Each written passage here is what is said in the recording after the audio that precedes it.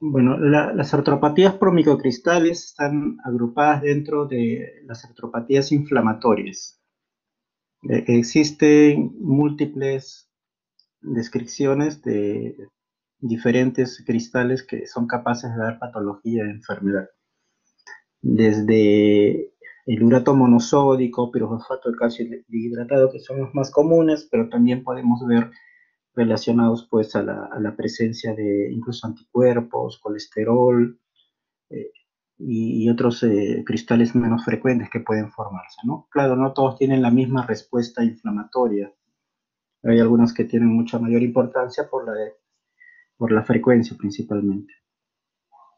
Entonces, no, es mucho eh, el, espectro en realidad de las que son capaces de dar patógenos pero la descripción es muy antigua.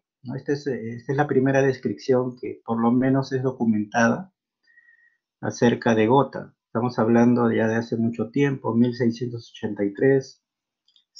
Han describe en, ese año, pues, en, eh, o hace la descripción de, un paciente tal cual, ¿no? Tal cual a la fecha vemos en cuanto a los episodios de exacerbación de gota lo describe con un paciente que está descansando y en la madrugada es despertado pues por un dolor intenso referido en el dedo gordo, se extiende a talón, se irradia pantorrilla, tobillo. Eh, él, representa el dolor como muy intenso, por eso es que hace referencia como si estuvieran dislocándose los huesos.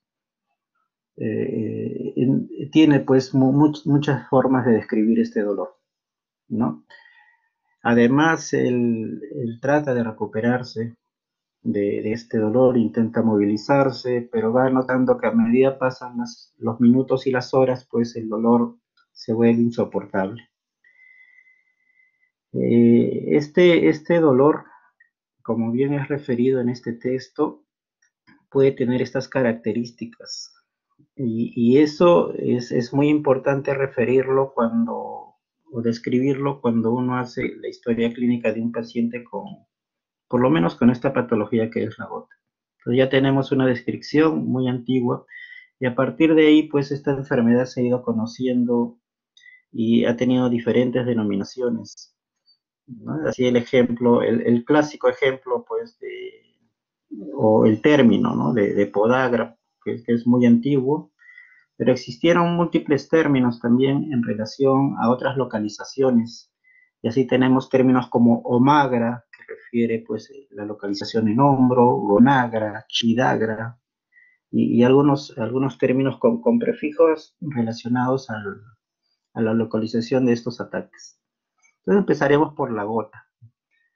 Eh, el depósito de cristales de urato monosódico eh, tiene múltiples eh, formas de presentarse. Por eso es que cuando hablamos de, de, este tipo de miocristal estamos refiriéndonos a un espectro grande de artropatías pues, que encajan dentro de esta definición. Eh, para ser denominada como tal la enfermedad, tiene que darse este depósito en tejidos. Las articulaciones son uno de los blancos principales, pero puede darse en otros tejidos, conocidos el riñón, conocidos el tejido celular subcutáneo la presencia de, esos depósitos. Lo que les mencionaba, los, cristales pueden tener, eh, puede haber una gran variedad, pueden deberse a diferentes este, circunstancias el depósito. Los más comunes o más conocidos son el depósito por cristales de urato monosódico, pirofosfato de calcio dihidratado, fosfato de calcio básico, oxalato de calcio, bastantes relacionados al calcio reconociendo que es la estructura principal que, pues, que envuelve el entorno articular. Colesterol también está descrito, corticoides principalmente los intralesionales eh, en procedimiento de, de infiltración, bueno, y lípidos también raramente, pero también son descritos, ¿no? Con capacidad de formar estos cristales. Cuando hablamos de gotas nos estamos refiriendo al producto final del metabolismo de las purinas que es el urato monosódico. Entonces, el depósito de este tipo de, de cristal o microcristal, pues lo vamos a conocer como gota. E, es descrito en diferentes bibliografías como la enfermedad inflamatoria de mayor frecuencia, pero subdiagnosticada. E, es, ese es el otro punto a tener en cuenta. Acá les presento información acerca de eh, estudios nacionales, eh, incidencia también por fuera de nuestro país, donde describen pues una incidencia variable de las atropatías por microcristales, siendo eh, la gota una de las más frecuentes. Y no, por ejemplo, en este estudio que se realizó hace un poco más allá de 10 años, no encontraban una prevalencia de las otras atropatías como pirofosfato hidroxiapatita también. Debido a que, como vamos a ver luego, pues el diagnóstico muchas veces eh, es accidental y no necesariamente basado en información clínica. Este, esta tabla que presentamos en, la parte inferior, eh, muy aparte de, darnos números de incidencia acumulada y tasa anual, eh, nos permite notar cómo la incidencia va variando de acuerdo a la concentración del ácido úrico en sangre. Desde pues, tener una baja incidencia por valores por debajo de 8 miligramos y vemos cómo a partir de ahí empieza a duplicarse el número de casos nuevos, llegando pues a ser cerca de 70 veces el valor cuando hablamos de concentraciones séricas de ácido úrico por encima de 10 miligramos por decilitro. Entonces la incidencia va a variar de acuerdo a este, a este factor, es considerado el principal factor eh, que determina la posibilidad de desarrollar gota de una persona. No es el único, pero es el principal y en cuanto el, el tratamiento, el blanco objetivo está relacionado pues a reducir sus niveles en sangre. Entonces ya vamos conociendo un poco acerca del, manejo, ¿no? Eh, esto es teórico, recordar pues que las purinas tienen fuente eh, exógena, de ahí viene la importancia del control de la dieta.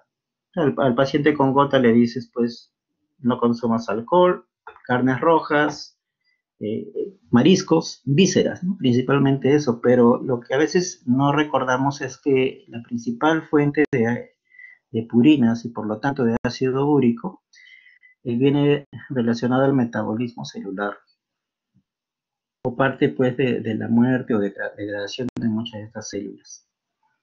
Entonces, a partir de, este concepto podemos entender cómo algunas enfermedades, pues, eh, donde existe este metabolismo acelerado, pueden pues, estar relacionadas con la posibilidad de desarrollar gota.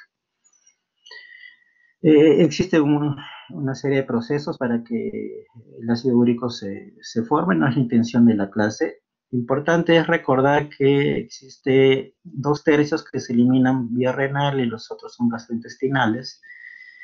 Y en la vía, en el circuito, hasta ser eliminado, pues hay una serie de procesos que van desde la filtración, reabsorción hasta la secreción, que pueden alterar el porcentaje de ácido úrico excretado.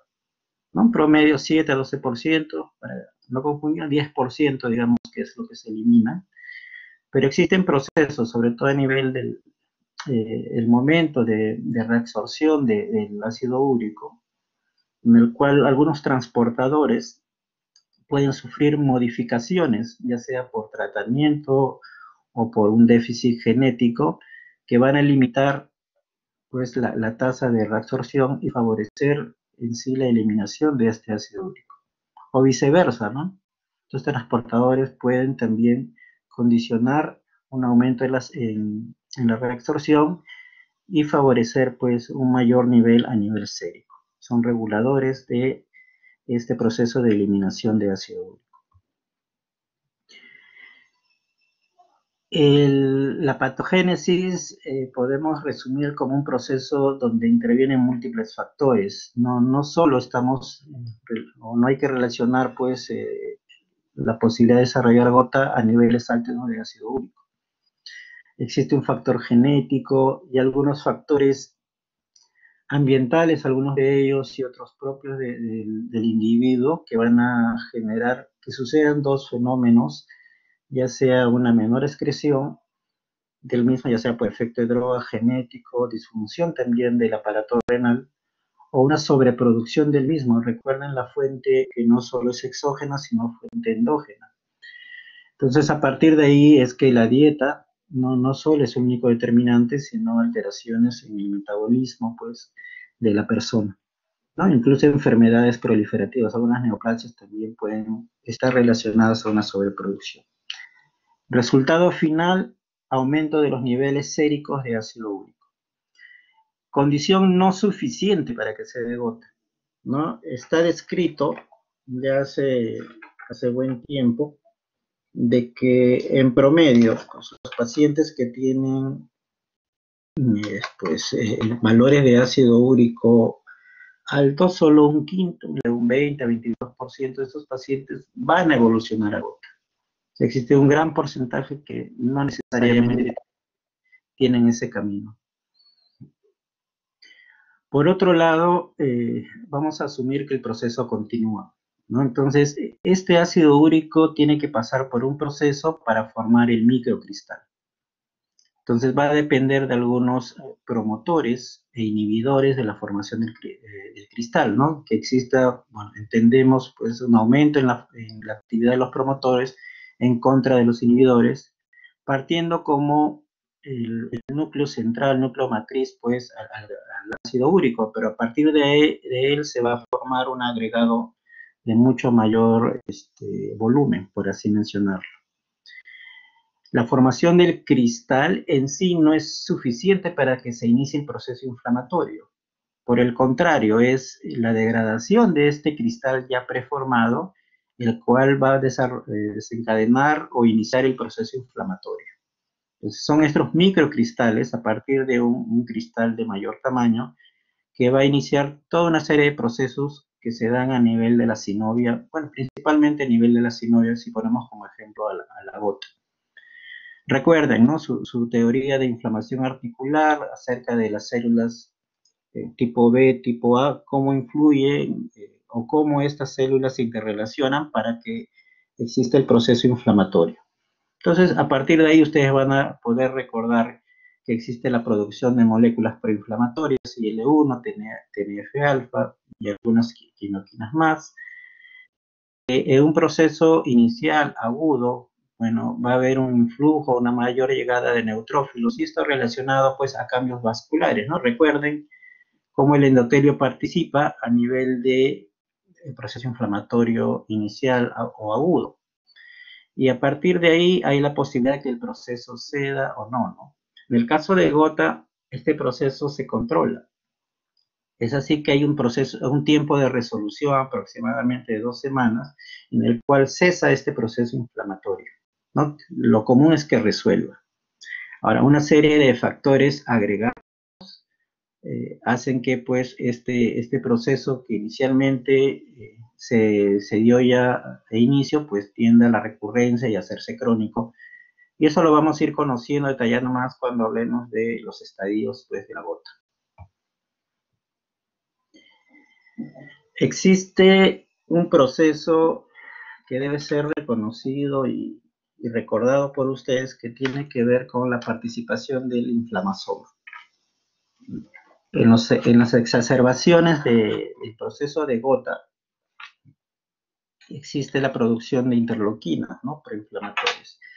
¿Y, cómo es que se da toda esta cascada para llegar a la formación del proceso interleuquina B, que 1B, perdón, beta, que es el responsable del, proceso inflamatorio agudo? Pues previamente este cristal tiene que ser captado vía receptor este TLR, nivel de la membrana de la membrana celular, ya sea monocito, macrófago, y desencadenar una serie de respuestas en el cual pues transportadores como los tipo NAL, y que van a formar en conjunto una plataforma con la caspasa 1, una proteína de asociación como la SC, forman un complejo que favorece eh, la participación pues, de, una cascada, una secuencia relacionada con la caspasa 1, que va a favorecer la formación de interleuquina 1 beta. ¿no? Y esto eh, tiene mucha mucha relación o mucha participación en varios procesos inflamatorios y el modelo de, la acción del inflamosoma, pues que, es este, este complejo en sí, que estoy señalando acá con, la mano, eh, se ve principalmente reflejado en la gota.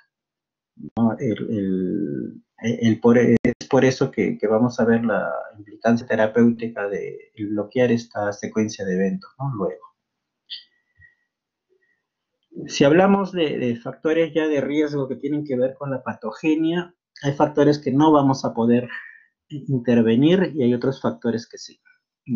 ¿Qué factores tienen importancia en, la gota? Bueno, la edad. Está bien demostrado pues que la prevalencia aumenta con la edad. No es raro ver gota en jóvenes, salvo que haya pues un déficit genético, ¿no? Como hay algunas enzimas importantes que, que participan en este proceso. Hay estudios que ya comparan antes, después, y vemos pues cómo reflejan que existe una mayor prevalencia a medida que la edad se da eh, en mayor grado, ¿no? Estas personas.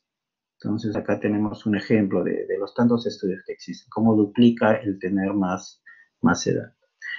Está bien descrito que la gota es principalmente o predominantemente una enfermedad de varones, aunque esto, este valor puede reducirse pasada determinada edad. El, rol estrogénico en mujeres es de repente determinante que se dé menor frecuencia en las mujeres, por eso es que su prevalencia aumenta en mujeres postmenopáusicas. ¿no? Pero antes de la, menopausia, si ustedes me, presentan una paciente con, por ejemplo, mono o oligoartritis, yo, yo dudaría ¿no? de que estemos ante un paciente con gota o sería posmenopáusica, incluso ahí no sería de repente mi primera posibilidad. Entonces, el efecto úrico-súrico de los estrógenos de repente es el determinante para que veamos pues esta, esta diferencia. Entonces, recuerden, principalmente varones, se comparan con mujeres. De los factores modificables, un poquito. A ver, la hiperuricemia es el principal factor. Es eh, debe conocerse que a partir de este punto de corte, que es 6.8 miligramos por decilitro, el ácido úrico es capaz de pues, poder sedimentarse y a partir de ahí formar los cristales. Por debajo de este valor, pues como vemos en este esquema, aunque acá se me ha movido un poquito, vemos que es prácticamente difícil este, que sedimente y por lo tanto este, reportar casos de gota, ¿no? Y esta incidencia va aumentando a medida que vemos valores mayores. Por encima de 8 ya empieza a tener la curva, pues llegando a más de 9 o 10 como los factores determinantes de, o a considerarlo como un factor determinante la posibilidad de tener gota. es por eso es que se ha planteado pues algunos blancos terapéuticos en relación a varones, mujeres, y que tienen también que ver con la posibilidad de sedimentar este ácido úrico, ¿no? Tomando como punto de, corte este valor. Bueno, para varones, eh, esquemas plantean pues por debajo de 7, aunque la última recomendación de junio de este año eh, nos plantea valor por debajo de 6, igual para mujeres postmenopáusicas. Esto sí igual mantiene el concepto de 6. En junio de este año ha salido una, una guía por el EULAR, donde han hecho algunas recomendaciones que, que discrepan o un poco de la del 2012. Entonces, eh, la meta actualmente es 6 miligramos, ¿no? Pero esto más que plantearnos un objetivo terapéutico está haciendo referencia a la posibilidad de solubilidad del urato. Fármacos. Uno hace la historia clínica y hay una descripción de fármacos que pueden influir en la, en la aparición pues, de, de gota. Y esto relacionado a la alteración en la reabsorción o, secreción de la misma, como hemos visto ejemplo en el esquema hablamos de los transportadores, URAC1, OAC, por ejemplo. Los diuréticos son los más descritos. Las tiacidas, por ejemplo, furosemida. Entonces, hay, hay que enfocarnos, hay recordar que estos pacientes casi siempre tienen enfermedad cardiovascular o metabólica asociada, entonces no es ajeno que tengan uso de diuréticos. En nuestra especialidad, en la especialidad de reumatología hay unos fármacos que también son usados, como el teriparatide, que es la paratormona sintética, salicilatos también se pueden usar en algunas enfermedades reumáticas, tacrolimus, ciclosporinas como inmunosupresores. Terapia que se usa en tuberculosis también está descrito, los citotóxicos también aplican para enfermedades inmunológicas. Estoy hablando de ciclofosfamida, metotrexate, por ejemplo. El alcohol ya está bien descrito, bueno, y otros fármacos más como para terapia antiviral, por ejemplo, hepatitis, levodopa también, ¿no? Como anticonvulsivante. Eh, la dieta y el alcohol. Es, esto es, bien conocido, pero a veces también este, eh, mitificado en, cuanto a algunos alimentos. Acá les presento una, tabla y el riesgo o el OR pues para desarrollar, ¿no? Eh, obtener pues gota. Entonces como vemos acá, no necesariamente todos los alimentos que contengan purinas van a estar asociados al desarrollo de gota.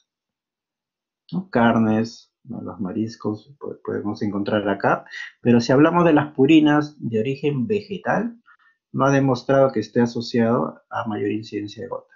Por lo tanto, uno no debe estimular su, su falta de consumo. No hay problema, se le dice al paciente.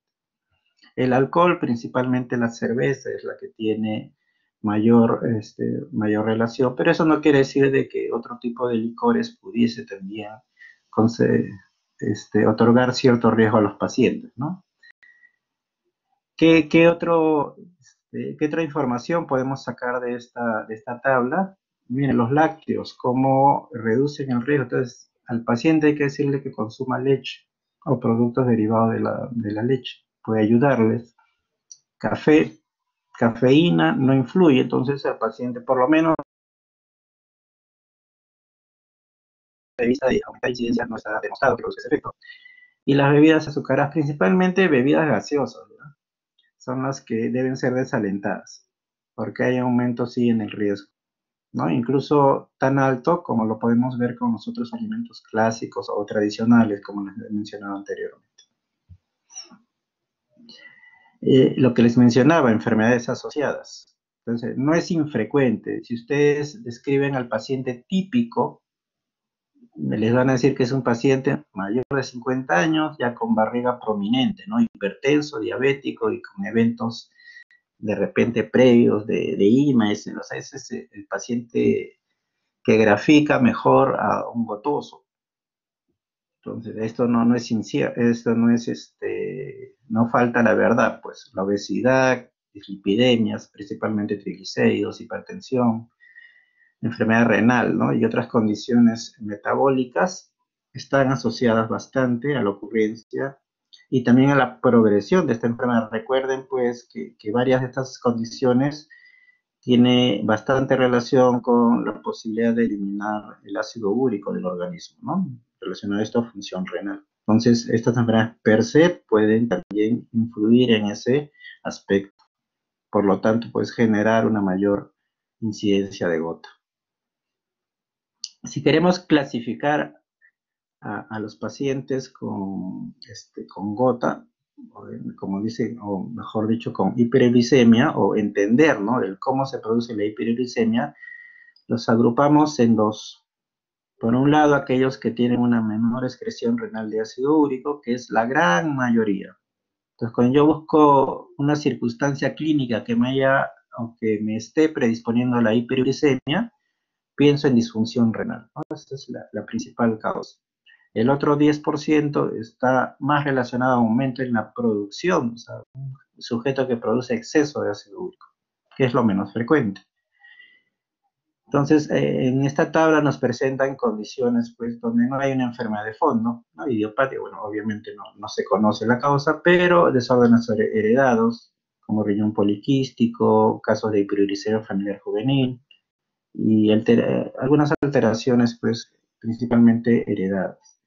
Las enfermedades más conocidas, ¿no? Hipertensión, enfermedad renal crónica por la causa que sea, enfermedades metabólicas, recuerden, hipotiroidismo, hiperparatiroidismo, los fármacos que ya hemos mencionado, y bueno, hay otras condiciones de repente menos frecuentes o agudas, como por ejemplo la preeclampsia, que pueden desarrollar también aumento de los niveles de ácido úrico.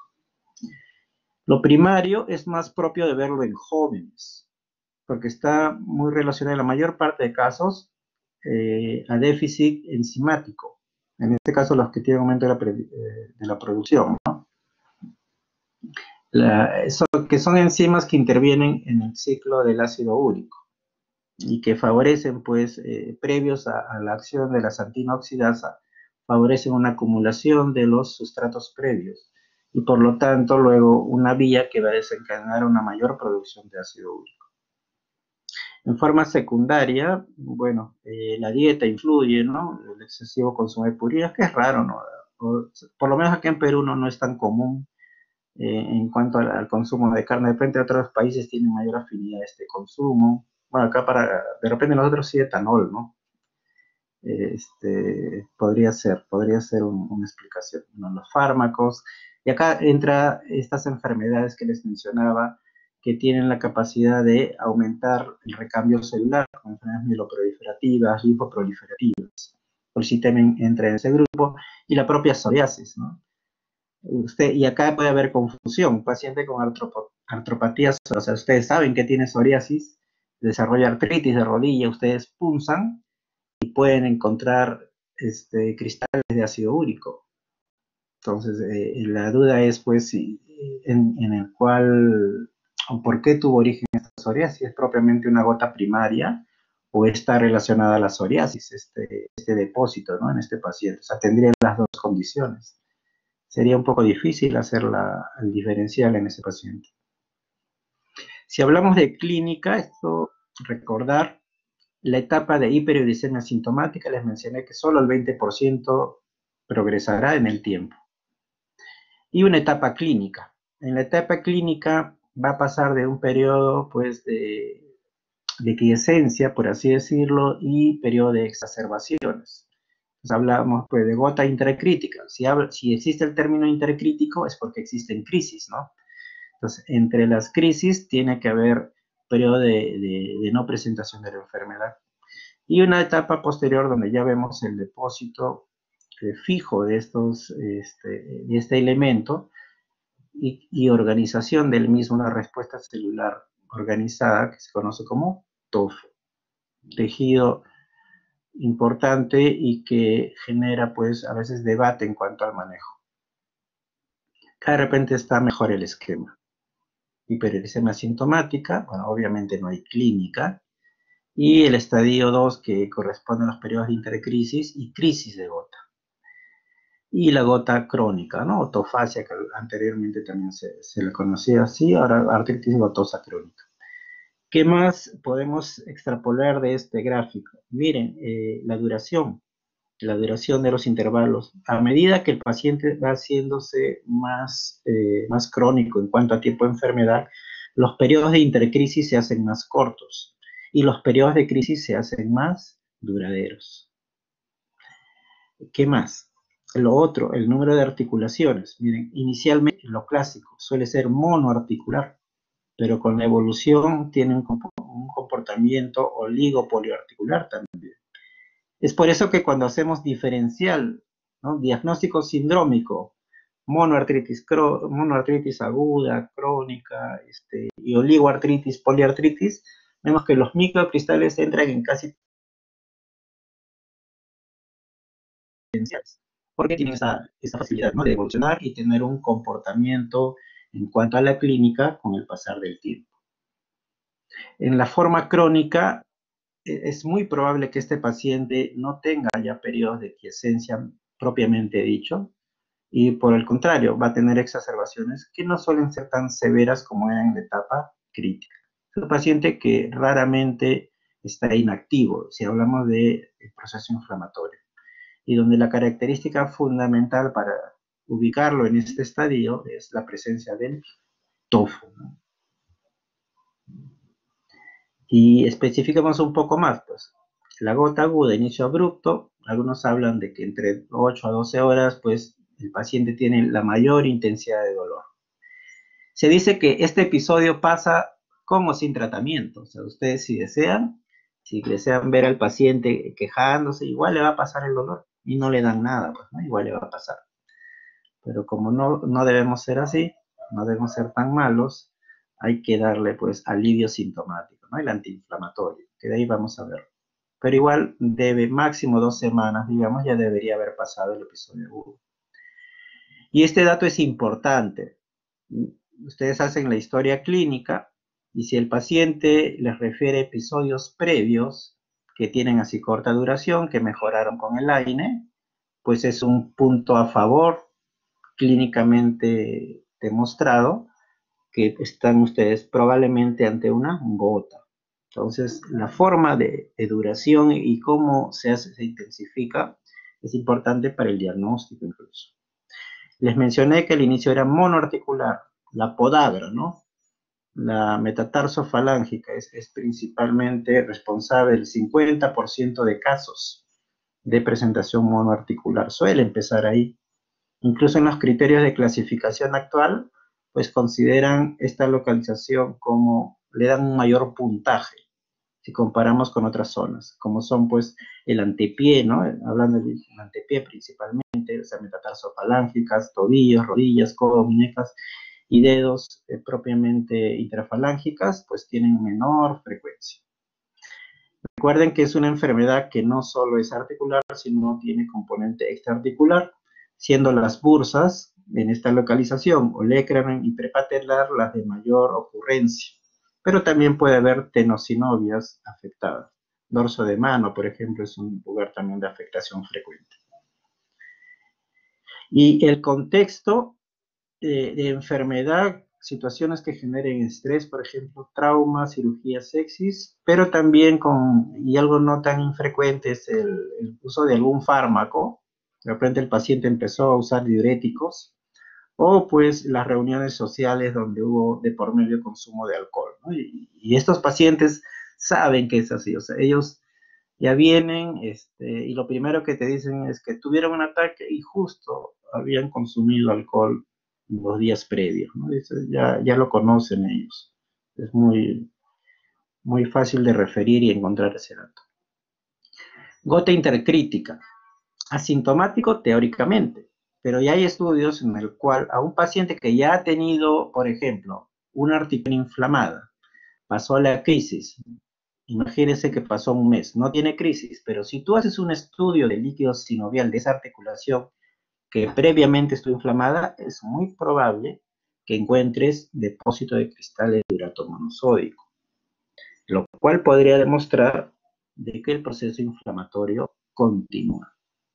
Y conocer esto ha hecho de que exista también manejo en las etapas de intercrisis. La duración de la intercrisis es variable. Hemos visto que el comportamiento pues difiere entre un paciente que debuta y un paciente que tiene años de enfermedad, ¿verdad? Esto ya, está bien explicado. Entonces, recordar este concepto de que pueden ustedes encontrar cristales en articulaciones previamente inflamadas. Bueno, la, gota está dentro de las enfermedades que producen enfermedad erosiva. O sea, las artritis erosivas, ahí está la gota, ¿no? Recuerden AR, recuerden psoriasis, recuerden infecciosa, recuerden neuropática. También dentro de ese grupo está la gota. Las erosiones tienen una forma de, de ser visualizadas en algún, algún contexto típico, que de ahí lo vamos a referir, pero es parte de, los cambios que vemos. ya vemos el daño radiológico, la presencia de tofos, hay que buscarlos. Estas son las zonas de mayor frecuencia, las manos hay que ver obligatoriamente, pabellón auricular.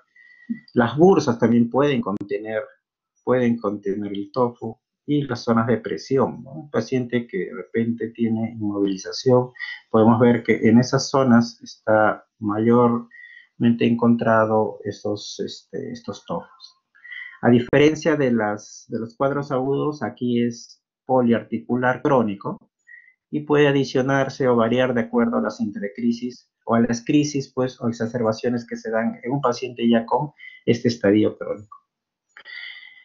Eh, hay factores que determinan quién va a, a llegar en forma temprana a este, a este estadio, pues el inicio ¿no? de enfermedad. Mientras son más jóvenes es peor. Entonces aquellos que tenían, estaban dentro del 10% que tenían sobreproducción, es donde en forma más, más frecuente vamos a ver esto.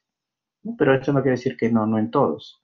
Bueno, la falta de tratamiento y persistencia de los niveles de ácido úrico elevado. Aquellos que sobre todo tienen mayor posibilidad de sedimentación, estamos hablando por encima de este, 10 miligramos, ¿no? que hemos dicho que es indefectiblemente lo que conlleva esto, este tipo de ataque. Imágenes, un sacaltofito, el pabellón auricular, dos tofos, además vemos las bursas, olecraneanas, habíamos referido que es frecuente su afectación. Entonces yo veo esto, aumento de volumen, ¿qué hago para decir que no es artritis? Le examino, ¿no? La artritis de codo y la bursitis olecraneana de codo, las dos duelen, las dos están aumentadas de volumen. Diferencia, en la bursitis el movimiento no está limitado porque es extraarticular. En la artritis hay limitación del movimiento de flexión, extensión, ¿no? Aunque supongo que debería tan, tan voluminoso una artritis. Bueno, acá tenemos otras localizaciones, acá este, la interfalange proximal de este dedo, los tofos evidentes, eh, que han producido necrosis también de, de la piel suprayacente. Si ustedes pudiesen ver este, cómo este, este contenido, ¿no? Porque no es que sea una piedra, sí es este, un líquido eh, medio muy similar a una pasta dental en realidad. Entonces comprime esta zona y va a salir una secreción tal cual, ¿no? Pasta dental tipo colino, ¿no? La blanca, no, no la de colores. Una imagen radiográfica donde podemos ver algunas de las características específicas de, la gota, miren, las erosiones. Si comparan con una R, estas, eh, estas erosiones son mucho más grandes. La R es más chiquita. la presencia de extremos afilados, o sea, como puntitas, acá. Por eso es que se le con mordedura de ratón, de rata también. Y hay una reacción esclerótica alrededor. Podemos ver incluso pequeños osteofitos en este margen y estas zonas radiolúcidas corresponden a la presencia de tofos, que pueden ser intraóseos o también, que es más frecuente verlo, en los tejidos blandos, donde vemos, a veces vemos una imagen un poco más radio opaca en, en este segmento, puede corresponder a un tofo calcificado, o más radiolúcida propiamente a un tofo. En una etapa ya un poco más avanzada de enfermedad, recién vamos a ver la reducción del espacio. O sea, no es un cambio temprano. Entonces, ven erosión y conservación del espacio, piensen más en gota que pensar en una R, ¿no? En una R, artritis reumatoide, la reducción del espacio se da en conjunto con la presencia de erosiones. Vamos a diagnosticar. El diagnóstico ya está bien conocido hace tiempo. O sea, ¿cuál es el gol estándar, prueba de oro? Pues demostrar la presencia de cristales de hidrato monosódico en líquido sinovial o algún tejido, específicamente un tofo, ¿no? Donde se aspira este tejido. Entonces, existen eh, diferentes estadios, como hemos mencionado, y vemos que en todos los estadios, ya sea pues los, flares o, ataques, ¿no? La intercrítica y la crónica pueden diagnosticar. En un paciente que tuvo hiperuricemia, pero no de ese 20% que, perdón, de ese 20% que evoluciona, bueno, que ese paciente sí podría yo detectar, incluso sin haber tenido clínica, de que, o sea, se ha demostrado que se encuentra el cristal de hidrato monosódico. Y sería una forma de predecir de que ese paciente va a desarrollar gota, ¿no? O sea, encontrarlo en este estadio, antes de que tenga el. Trabajo difícil, ¿no? Porque, ¿cómo vas a punzar a un paciente sano? Y bueno, a veces por este eh, se opta pues por imágenes que, pudiesen dar esta información, que de ahí lo vamos a describir. Pero ¿qué pasaría si yo tengo un paciente y este paciente no me es posible hacerle el estudio de líquido sinovial? ¿Qué hago en ese caso? hay forma de diagnosticar eh, sí hay formas. Como yo les menciono a veces a los grupos que he tenido práctica, los diagnósticos son clínicos en muchos casos y la sospecha o la probabilidad de sospecha va a depender de los elementos clínicos o algún alcance de laboratorio de repente, que va a mejorar esto. Yo trato de acercarme al diagnóstico, todo es juego de probabilidades. Entonces, como bien grafica eh, bueno, este, este esquema, obviamente el diagnóstico clínico para eso tiene clínica, ¿no? ¿Cuál sería la clínica? Lo que ya está descrito y que aumenta la posibilidad de gotas son aquellos pacientes que hacen compromiso monoarticular, principalmente primera metatarsofalágica y en segundo lugar tobillo. Tienen que recordar, o si tienen el antecedente, que ya tuvo un episodio previo similar, punto a favor, más probabilidad que estemos con gota. Si el episodio actual que ustedes están evaluando, pues el inicio es rápido, severo, o sea, progresa en horas, y eh, este, este episodio, pues, bueno, si lo llegan a ver al, final, llega a, tener el, curso corto resolución, bueno, definitivamente está ante una gota. Así, a diferencia de otras enfermedades inflamatorias, la gota da bastante eritema de la zona articular y periarticular. Ustedes en una artritis reumatoide probablemente no van a ver tanto eritema como lo ven en gota, entonces es otro punto a favor. Y si colocamos el contexto de que es un valor para un varón con enfermedad cardiovascular y se me ocurrió hacerle dosaje de ácido úrico y lo encuentro elevado, el punto de corte vamos a tomar pues por encima de 9, bueno, no necesito necesariamente demostrar que hay cristales de urato monosódico en este paciente para pues yo empezar tratamiento por ahora. Claro, la calificación de ese paciente va a ser como una gota probable, ¿no?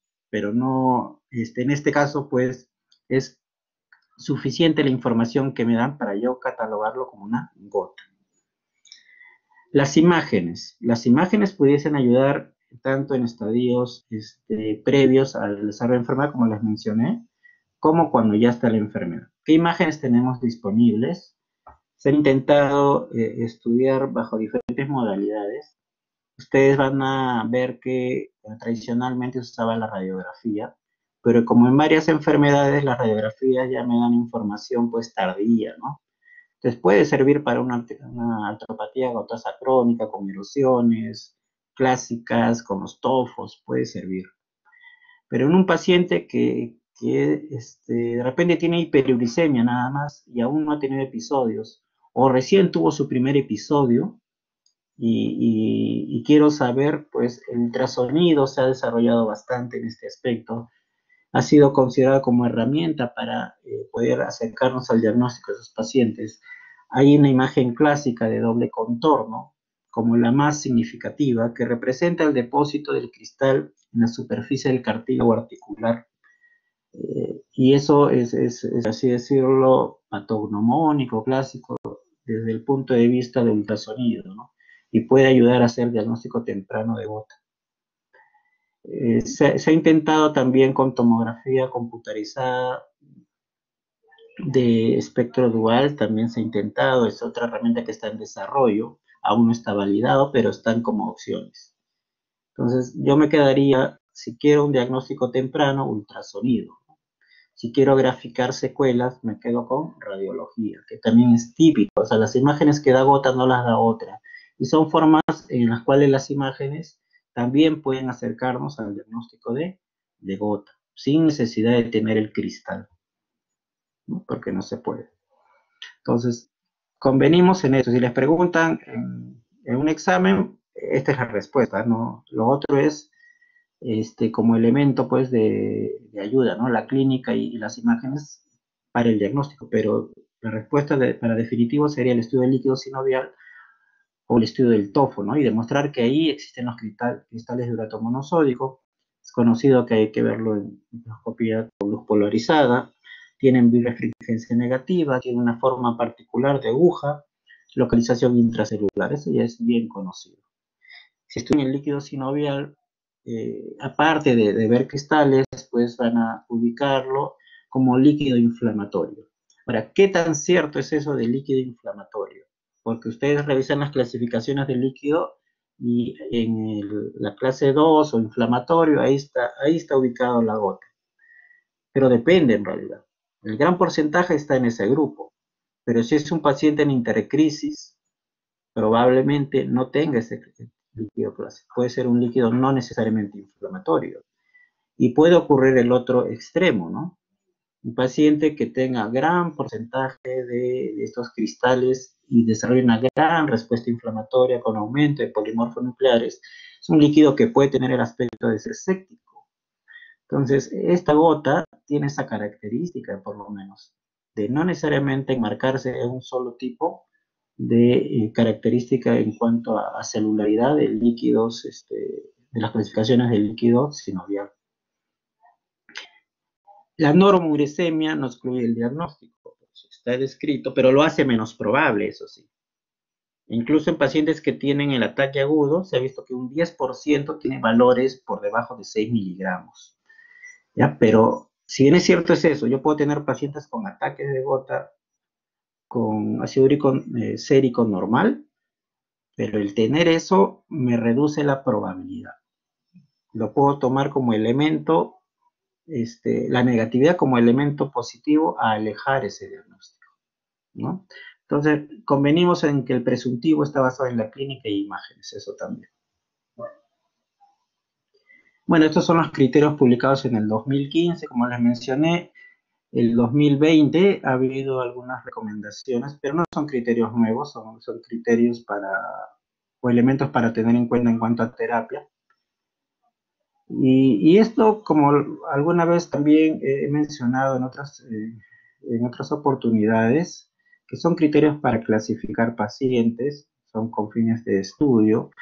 Recuerden todo lo que he mencionado en las diapositivas anteriores, solo que es lo que debe quedar en la cabeza para hacer diagnóstico. Esto puede servir para incluir en estudios de investigación. ¿Qué nos dice esos criterios de clasificación? Que es necesario conocer también, ¿no? Yo voy a empezar este, este ejercicio de clasificar a un paciente mínimamente tiene que tener un episodio de derrame, o sea, una articulación por lo menos comprometida o una bursa comprometida. Si tiene eso, empiezo a hacer el ejercicio para hacer clasificación de un paciente con gota. Si el paciente pues tiene la monoartritis y yo decidí hacerle estudio de líquido sinovial y ya encontré los cristales de urato monosódico, ahí paro, no tengo por qué hacer el ejercicio, ya está el diagnóstico hecho. O del tofu, veo el tofu ya, pues, ¿no? Ya no hay, no hay marcha a dar, no tengo por qué empezar a, hacer toda esta suma y resta de puntajes. Eso, quedaría ahí nada más. Entonces recuerden estos criterios de clasificación refuerzan pues lo que habíamos dicho anteriormente de que el diagnóstico está basado en la demostración del cristal de urato monosódico. Y estos criterios de clasificación me hablan pues de algunos parámetros clínicos del laboratorio de imágenes, como ya lo hemos hablado. No he querido poner acá los puntajes porque confunden, ¿no? Pero no es tan fácil, no es tan difícil recordar. Patrón, o sea, qué articulaciones o qué tipo de compromiso tuvo. Pues lo más importante, incluso que le dan dos puntos, primera, metatarsofalángica, tobillo, medio pie, le dan menos puntaje, Un punto le dan características del compromiso en cuanto a la intensidad. Un paciente que dice que tiene este tipo de dolor y que tiene restricción del movimiento, ese dato tiene más valor a aquel que solo eh, pues dice que está rojo. Y a veces pasa, hay pacientes que llegan a la consulta y que te dicen, tengo gota porque el dedo gordo se me puso rojo y, le preguntas si tuvo dificultad para caminar y te dicen un poquito, que no tuvo nada.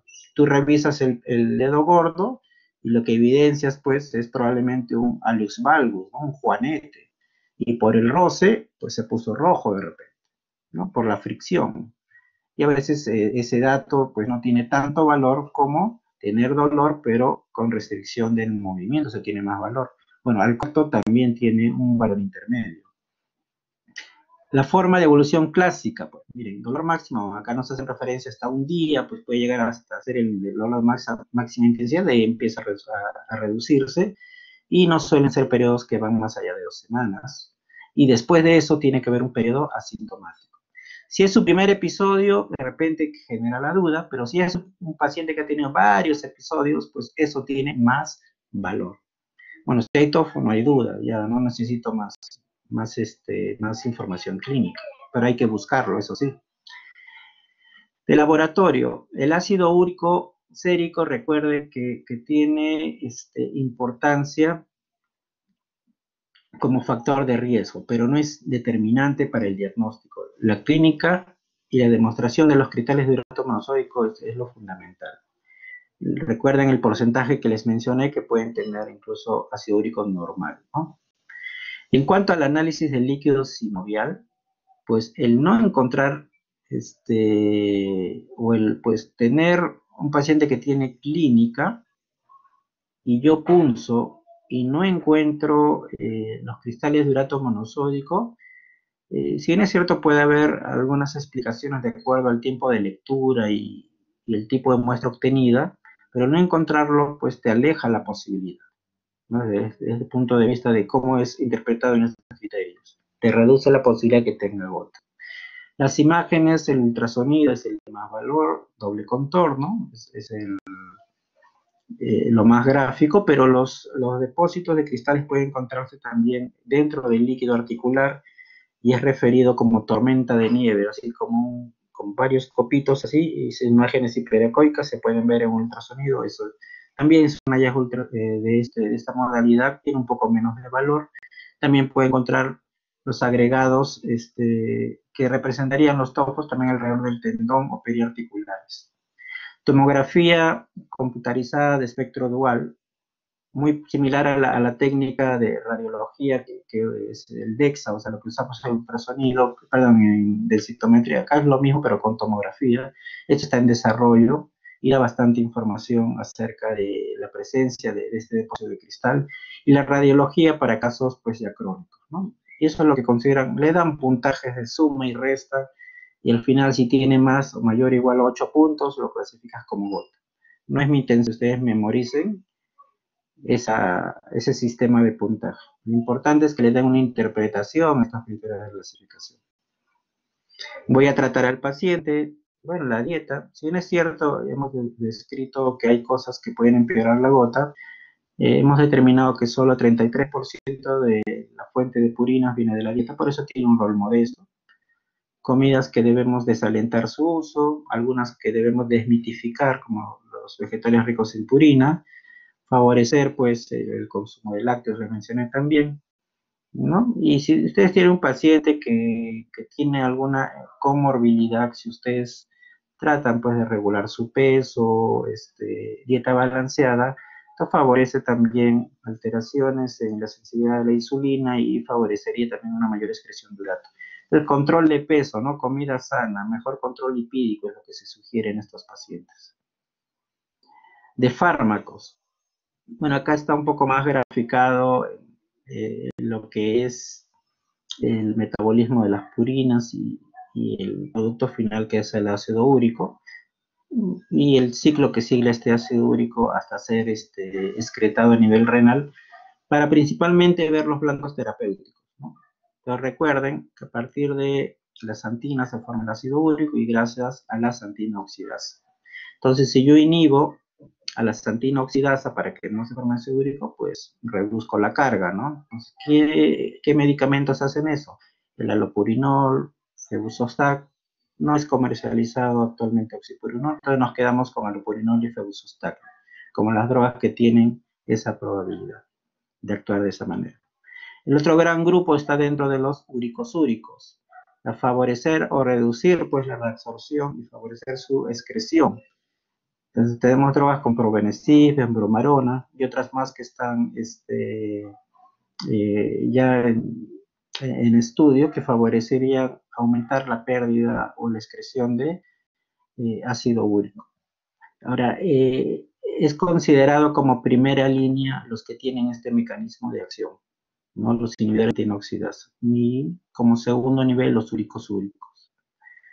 En las aves, las aves no sufren de gota. ¿Por qué no sufren de gota las aves? Porque las aves siguen un proceso extra en cuanto a la transformación del ácido úrico. Estas aves tienen una enzima que se llama pues uricasa. Y gracias a la enzima uricasa, el ácido úrico se transforma en alantoína, que no tiene pues, relación con patogenia, ¿no? Entonces, se aprendió de eso y se creó pues sintético, o se ha creado sintéticamente productos que imiten a esta enzima la uricasa. Entonces tenemos la rasburicasa, perloticasa, que tendrían este efecto de aumentar los niveles de la antoína a partir del ácido úrico, sobre todo para el, excedente, ¿no? Y esto reduciría pues la carga o el pool de ácido úrico que, un, eh, un, paciente tiene. Entonces es otra, otro fármaco que está ahí dentro de las opciones que se ven, sobre todo para pacientes que tienen una alta carga de ácido úrico en el cuerpo. Pacientes eh, tienen la posibilidad de desarrollar episodios pues, agudos, donde participa principalmente el inflamasoma. En ese eh, tipo de momento de enfermedad tiene lugar los inhibidores pues, o antiinflamatorios, inhibidores de toda esta cascada este, mediado regulado por inflamosoma. Tenemos a los AINES, la colchicina, los corticoides y teóricamente a los inhibidores de interleuquina 1, aunque está demostrado que la eficacia es mejor con los productos previos. AINES, colchicina, esteroides funcionan mejor que los inhibidores de interleuquina 1 y por lo tanto hasta la fecha están siendo recomendados como primera opción. Pues para gota aguda, AINES, colchicina oral, glucocorticoides, está ya bien, bien establecido, tienen la misma indicación. En cuanto a los AINES, bueno, recuerden que es básicamente el perfil de seguridad lo que determina si usar un COX-2 o un AINE selectivo, más por eso va.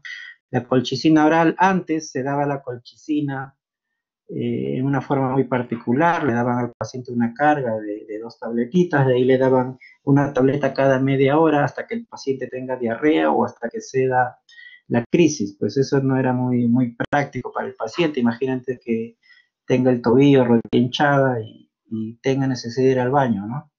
Difícil para ese paciente. Entonces, ya se ha demostrado que las dosis bajas tienen la misma eficacia. Entonces, actualmente hay esquemas en el cual se empieza con una carga de 2, pero la se da cada 6, cada 8 horas. El paciente, una vez que cede el ataque, ya lo dejas con mantenimiento, solo con una dosis baja, ¿no? De 0,5, acá en Perú 0,5 miligramos, la presentación de 0,6 de otros países. Es la colchicina.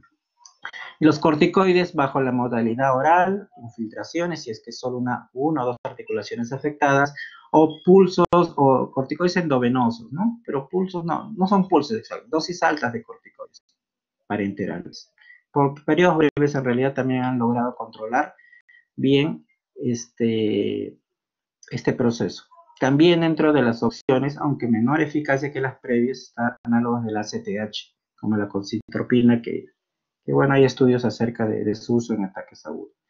Y acá por colocar abajo, pues los anti-IL-1, el más estudiado anakinra, pero existen otros más, pero como les mencioné, no es considerado actualmente primera elección para gota aguda, están estos tres fármacos. Ahora, eh, existen comorbilidades pues, en el paciente, ¿no? Por ejemplo, el paciente puede tener enfermedad renal crónica, puede tener diabetes, hipertensión.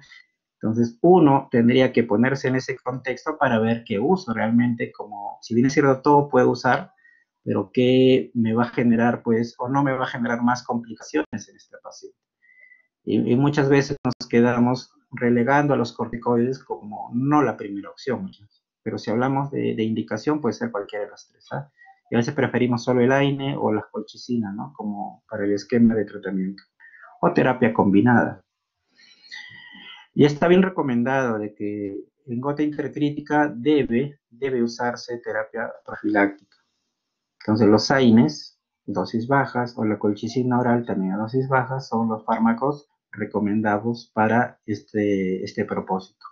Entonces el paciente no debería dejarse sin medicación no por lo inicialmente. Ahora, ¿cuánto tiempo se recomienda inicialmente en, estos pacientes? Hay estudios que hablan de 3 a 6 meses, ¿no? De forma regular. Pero eso también va a depender de, la frecuencia de los ataques de gota que, tienen estos pacientes. Gota crónica, tenemos a los inhibidores antinoxidasa. Alopurinol es la droga representativa. Su dosificación va a depender de la función renal Paciente que tiene estadio 3 para a más 3, 4, 5, pues la dosis se va, a usar más baja que un paciente que tiene por encima de esa dosis.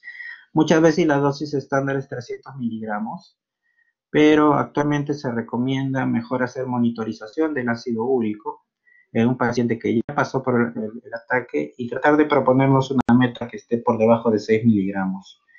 Y en base a ese parámetro, decidir en realidad o modificar la dosis arriba o para abajo este, y no necesariamente mantener con dosis fija ese tiempo. De úricos úricos, el más comercializado es Provenecid, pero tiene algunas este, contraindicaciones como la presencia de litiasis renal, por ejemplo, que, limita, que no es infrecuente en pacientes con gota crónica. O sea, litiasis renal por cristales de ácido úrico es, frecuente. Entonces, a veces es un poco limitante también su uso, ¿no? Y cuando se usa, eh, bueno, hay, hay, buena, buen efecto, pero recordar ese, esa complicación. Bueno, acá nuevos fármacos más o menos, el flagosostal ya se está usando, tiene la misma mismo mecanismo que el alupurinol, ya está aprobada esta droga. Y bueno, los otros fármacos, como les mencioné, pues los uricasa, los anti-L1, ahí todavía tratando de, mejorar un poco la información para ver si realmente deben ser usados o no deben ser usados en, en cuadros agudos, ¿no? Bien, hasta ahí es ácido úrico, que ha sido lo más extenso. De aquí viene dos, grupos que, no son este, no son tan frecuentes si comparamos con gota, pero vamos a, ver que, que, no es tan frecuente porque no es diagnosticado no necesariamente, ¿no? La enfermedad por depósito de cristales de pirofosfato de calcio eh, también se conocía antiguamente pues como condrocalcinosis, digamos que es la segunda en frecuencia. Recuerden al pirofosfato como componente fundamental del hueso, de la estructura de la matriz ósea. Y a partir de ahí ustedes podrían entender la facilidad de cómo es que se produce todo el proceso de, de cambios en esta entidad adultos que nunca se dieron cuenta que tuvieron, o no tuvieron clínica, ¿no? Cerca del 4%, algunos estudios de necropsia aumentan eh, demuestran esto. La presencia aumenta con la edad. hasta la mitad de pacientes que tienen 90 años se les encuentra estos depósitos. Eh, entonces, eh, acá me están dando también indirectamente un dato, ¿no? Si yo tengo un paciente con monoartritis y tiene 70 años, pues mi primera posibilidad si pienso en miocristales no será gota, ¿verdad? Será este tipo de artropatía que es más prevalente en grupos etarios pues por encima de los 65 años generalmente. Entonces por ahí este dato me, orienta a eso. El término condrocalcinosis obedece al depósito de este tipo de cristales. Todos los cristales que tengan en base al calcio se denominan así. Y el sitio de mayor ocurrencia es la rodilla. Y bueno, los datos van hasta 9-18%. ¿no? Incluso en aquellos que han tenido otro tipo de, condición clínica también se encuentran valores similares. Se clasifica también, la, clasificación es extensa, pero en general ustedes tienen que plantear que ante un paciente que esté dentro de este grupo, ustedes tienen que buscar secundarismo. Claro, en jóvenes puede haber una causa hereditaria, que tienen que ver con, la formación de este pirofosfato de calcio, pero la gran, la gran población hay que buscarle secundarismo. Enfermedades endocrinológicas y algunas metabólicas, trastornos genéticos asociados a déficits enzimáticos son las principales, eh, principalmente asociadas a la posibilidad de este depósito de este microcristal. Hiperpara, ¿no? Hiperparatiroidismo. Entonces, a este paciente que encuentro este eh, este hallazgo de repente, o que clínicamente tuvo un episodio y hice estudio de líquido sinovial y demostró el cristal, yo pido pues un perfil de metabolismo óseo, que incluye calcio, fósforo en sangre y orina, marcadores de resorción ósea, marcadores de formación ósea, PTH también, todo aquel regulador de calcio, ¿no? Función renal. ¿Por qué? Porque una alta probabilidad es que exista una condición de fondo. Y así puedo encontrar algunos diagnósticos, pues, eh, no pensados en, un, paciente que tiene esta posibilidad. Entonces es lo que tienen que recordar, pero existe obviamente un grupo que no tiene estas comorbilidades y, será simplemente la edad su, único factor asociado. Por eso es que recordar que la frecuencia de estos pacientes aumenta pues con la edad, ¿no? Menos frecuente, acá hay una serie de enfermedades. La OA, ¿no? La osteoartritis común y silvestre que conocemos, también hay la posibilidad que se, se asocie a este depósito de cristales.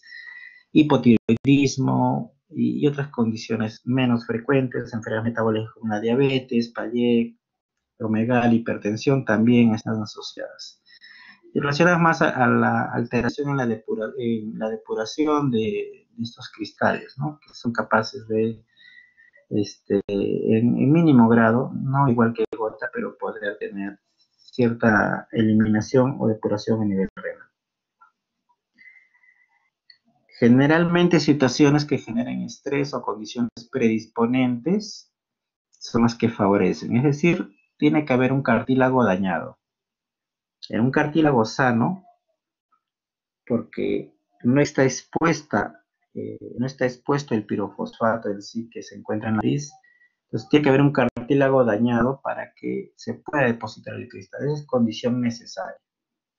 Entonces, la concurrencia de diferentes factores, como ya hemos mencionado, o enfermedades asociadas, aumenta pues el recambio de este, de, este pirofosfato a nivel de la articulación y favorecería que, pues, que exista un mayor número, inicie un proceso inflamatorio que favorecería su depósito a ese nivel, pudiendo haber como consecuencia final la artritis, ¿no? Pero no necesariamente se va a dar en gran parte de los casos.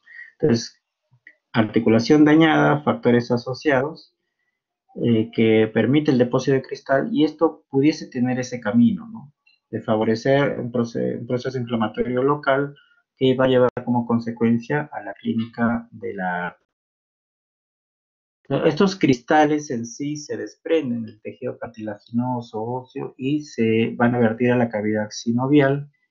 Y como función de, la misma, pues va a haber eh, por parte de la célula, va haber fagocitosis de los cristales, por parte de los neutrófilos, y una serie de procesos que ya conocemos, que se dan procesos agudos, liberación de enzimas, factores quimiotácticos, o sea, aumentar la respuesta inflamatoria a este nivel y se produce también como producto final, pues crecimiento eh, o aumento en el número de células inflamatorias y liberación de moléculas que producen daño tanto al cartílago como al hueso.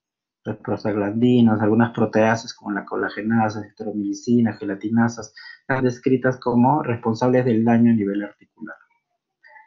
El gráfico de cómo en un cartílago previamente dañado se producen estos cristales, los cuales son pues, reconocidos inicialmente, ¿no? Tipo estas células inflamatorias, polimorfo principalmente, son deglutidos, y a partir de ahí desencadenar una respuesta inflamatoria, en el cual coparticipan otros factores relacionados a complementos, factores de coagulación, por ejemplo el factor 12, y a partir de ahí depositarse a nivel de la sinovia y desencadenar ya una respuesta inflamatoria local donde participan, bueno, ya conocidos sinovecitos tipo A, tipo B, principalmente, las cuales aumentan este tipo de respuesta, desencadenando clínicamente la sinovitis o artritis, ¿no? que es lo como se le denomina.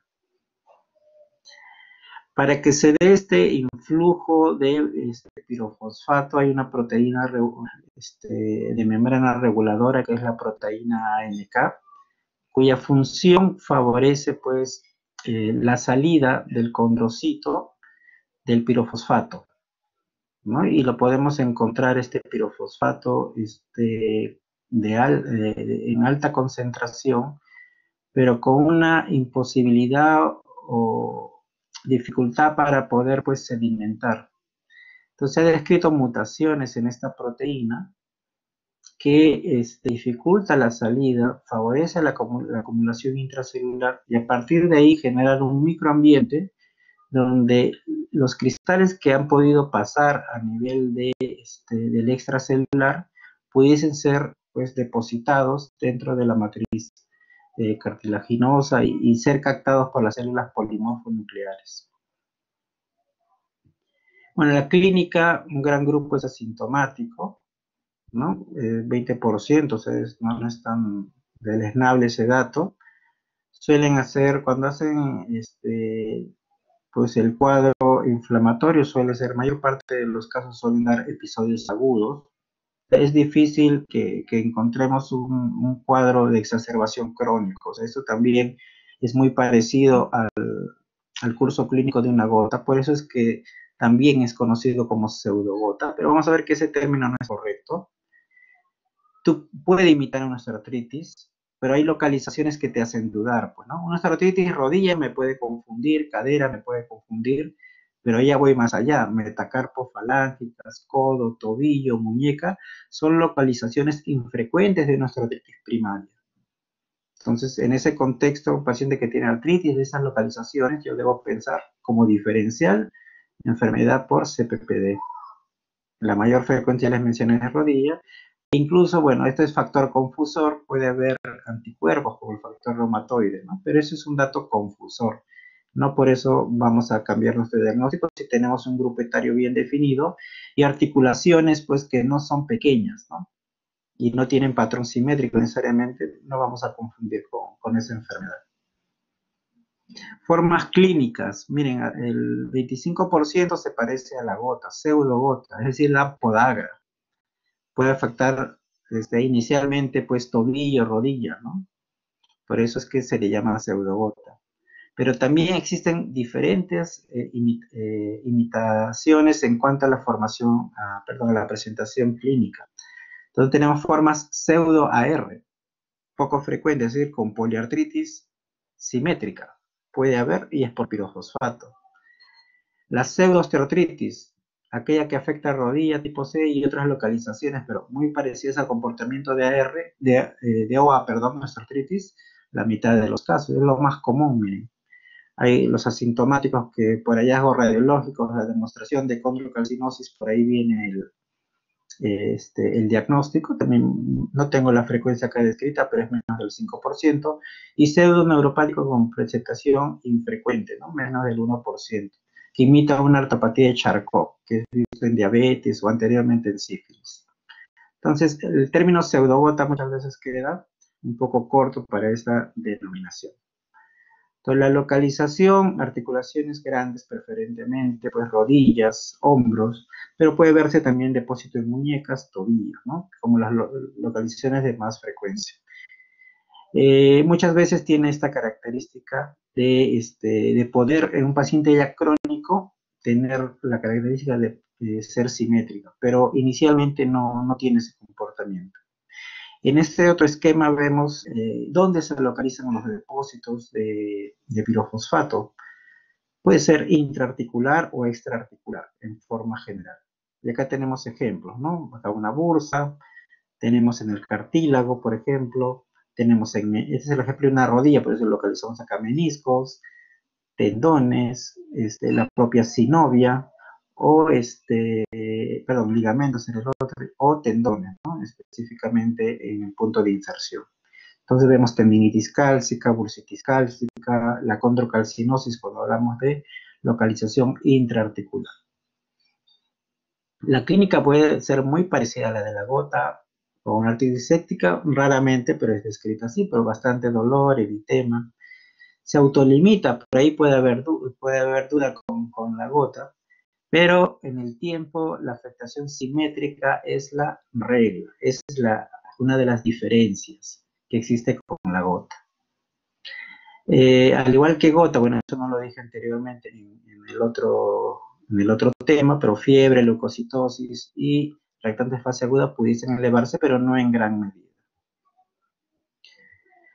Los desencadenantes, esos pacientes siempre hay un desencadenante, ¿ah? siempre hay un desencadenante que puede ser este, identificado, este, más que siempre, digo frecuentemente, pero esto de paciente hospitalizado en realidad, lo veo bastante, paciente que va a entrar a una cirugía, que tuvo un infarto o que va pues a hacer, eh, de repente manipular una articulación Ustedes hacen un procedimiento y de ahí, y de ahí el paciente a los días presenta el episodio de aumento de volumen articular. Aunque como dice acá, bueno, gran grupo se presenta en forma espontánea. Bueno, hay criterios de clasificación, al igual que en gota, pero lo que debe quedar en, como información es que hay que demostrar la presencia de cristales en un tejido. De preferencia es el estudio de líquido sinovial. Es, es un poco más difícil, a diferencia del tofo, que es más, eh, tiene más frecuencia por, la piel subcutánea, podemos encontrarlo. En esto, esta enfermedad abarca tejidos más profundos. También se ve con microscopía este, de luz polarizada. Y a diferencia de la gota, casi vemos refrigencia positiva. ¿no? no son de forma de aguja, tienen una forma un poco más este, como un paralelogramo, por así decirlo. Y en radiología las calcificaciones, por la naturaleza de, tener calcio, es, mucho más informativa si comparamos con, con la gota. Y clínicamente recuerden articulaciones grandes, no pequeñas como las otras enfermedades, como que al final llegan a ser pues simétricas, como la R por ejemplo, y rodillas la de mayor frecuencia. Eh, un paciente ya crónico van a ver pues afectación de más articulaciones que le dan ese carácter de ser simétrico, ¿no? Caderas, muñecas, eh, hombros, por ejemplo, metacarpofalángicas. Acá vemos imágenes, vemos este depósito en la región posterior de la rodilla, región poplitea. Acá también vemos a nivel de este, metacarpofalángicas, depósitos de eh, de calcio, ¿no? de cristal de pirofosfato. En la región anterior al tendón de Aquiles también vemos este depósito. La condrocalcinosis obedece al depósito intraarticular, pero si lo vemos, por ejemplo, por fuera, hablamos de una tendinopatía o bursopatía cálcica. Tratamiento en sí es un poco este, limitado. Si tú tratas la enfermedad de fondo, no tiene eso mucha influencia en realidad sobre estos depósitos de cristales, pero yo, yo principalmente lo trato para prevenir nuevos eventos. es mejor que esté compensado el paciente, pero durante el ataque no hay mucha, mucha modificación. Si el paciente, por ejemplo, está descompensado de la diabetes, la hipertensión, eso no va a modificar el curso natural de, este proceso de depósitos de microcristales. Entonces, eh, igual que en, cuadros agudos, los antiinflamatorios pues tienen la indicación, se puede usar también colchicina, corticoides de la misma manera que en la gota, es muy similar, es muy similar, aunque la evidencia no es tan, no es tan sólida como lo tenemos en gota con respecto a estos, este, estos productos, sobre todo colchicina y corticoides, ¿no? Por lo general, AINES este, es de repente lo, sugerido. Pacientes que tienen cuadro crónico este, de exacerbaciones eh, recurrentes, incluso se ha podido usar antimaláricos, metotrexate, al igual que en otras enfermedades que tienen este corte de afectación articular. También hay alguna evidencia de eso. Bueno, y lo, lo último que íbamos a tratar el día de hoy tiene que ver con eh, este otro tipo de, de, cristales de calcio, que es el de fosfato de cálcico básico. Eh, ven que el depósito es a nivel periarticular, discos intervertebrales y, algunos eh, tejidos interarticulares. En sí no hay, no hay estudios claros de incidencia o prevalencia. Usted nos habla de que gran parte de los pacientes pudiese pasar asintomático y de su dificultad para poder este, encontrar datos reales, ¿no? A diferencia de los anteriores, pues la luz polarizada no me ayuda. Hay una tinción específica que es la, tinción de alizarina, que se ve por microscopía electrónica para poder ubicar este tipo de cristal de fosfato de calcio básico. También conocido como hidroxiapatita, que es creo que el término más común. Bueno, tenemos eh, un poco en forma esquemática lo que es patogenia. Todo parte a partir de, pues todo inicia a partir de una disfunción en, el actuar tanto de fibroblastos como condrocitos, de citoquinas que van a influir sobre su acción. Entonces, recuerden también, este, dentro del contexto tenemos que tener una articulación también alterada, donde esos cristales son de, poder depositarse. Son tres células que van a estar fibroblastos y condrocitos generan una respuesta local. Estos son los fibroblastos eh, que se encuentran en la sinovia y el proceso ya inflamatorio propiamente dicho este, guiado por la acción de neutrófilos en un primer momento y luego por monocitos y macrófagos. Exacerbada esta función por la presencia de citoquinas y también generar una respuesta alterna, ya por acción de las tres células, pues favoreciendo la degradación de, de, la matriz cartilaginosa. Esto guiado por prostaglandinas y metaloproteinasas de matriz, ¿no? cual lleva a una degeneración del tejido articular. Clasificaciones hay múltiples. Eh, una forma de clasificarlas de acuerdo a su localización puede ser peri o intraarticular.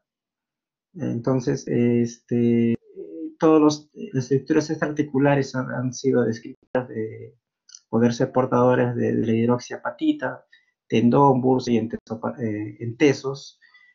Intraarticular hay un cuadro muy, conocido que es la enfermedad de rodilla-hombro de Milwaukee, hombro de Milwaukee, que es lo más conocido, es una forma aguda de, artritis y que suele ser muy destructiva ¿no? en, esta localización. Hay condiciones asociadas y, acá de repente hay una, este, hay datos que comparan con la de pirofosfato debido a que pues hay, hay factores hereditarios que están asociados a este depósito algunas ligadas o no ligadas al cromosoma X, fibrodesplazo especificante, por ejemplo, y secundarias también a una disfunción renal. Y esto es frecuente o más frecuente verlo en pacientes que están en terapia dialítica, que es más posible pues que circulen este tipo de, cristales. En enfermedades difusas del tejido conectivo también es frecuente ver este tipo de calcificaciones. cuando uno, por ejemplo, refiere calcinosis como un hallazgo clínico de estas enfermedades, la naturaleza de ese cristal es de hidroxiapatita principalmente. ¿no? Y tenemos la escleroderma como la más represiva, pero también está descrito esto en dermatomiositis, en menor grado en lupus. Y otras condiciones más, como paratiroidismo, hipervitaminosis D, sarcoidosis, dentro de, algunos ejemplos más. Incluso las inyecciones intra asociados. Eh, bueno, me preguntaron acerca de, una lesión tendínea y si esta puede llegar a calcificar y, le mencioné, creo, este, que tenía que ver más con procedimientos, pero si no ha sido manipulada, no, difícil que tenga calcificaciones. Y acá vemos un hombre de Milwaukee, una gran calcificación, ¿no? Pero una bursitis cálcica, ¿no? ¿no? No, es un hombre de Milwaukee. Milwaukee tendría que ver destrucción de, de, las, eh, de la superficie ósea, una gran erosión. Acá es básicamente una bursitis cálcica de gran tamaño. Esto lo, vemos en pacientes con esclerodermia, es una, pues, una calcinosis. Como ven, está localizado todo esto en tejido este, subcutáneo. Se sabe que es esclerodermia porque hay resorción, pues, ¿no? hay varias falanges que están ausentes y tienen esta distribución, ¿no? como en punta los, las falanges distales y los dedos en, en contractura y flexión, que es típico de estas enfermedades o de esta enfermedad. Tratamiento, a diferencia de, pirofosfato y gota, acá no es tan este, efectivo, se sigue pues los AINES, pero hay casos como el anterior en el cual o el cristal es muy grande porque tiene esa tendencia o es muy, muy difuso su localización. Entonces a veces eso limita el, resultado del tratamiento con AINES, aspiración, bueno, infiltraciones, ¿no? Y, muchas veces este, cuando generan grandísimos estos pacientes tienen que llegar a tratamiento quirúrgico, ¿no? Que es, es una de las medidas a tomar. Y creo que debe ser la última diapositiva. Bueno, es, lo que quería presentarles si tienen preguntas, ahora sí pueden aprovechar para intentar responderles.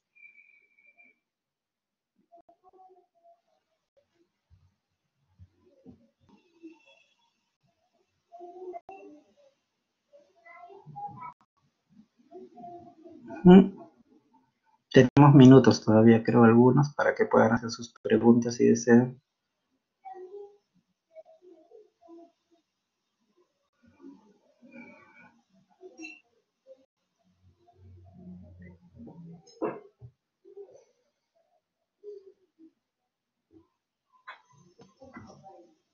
Bueno.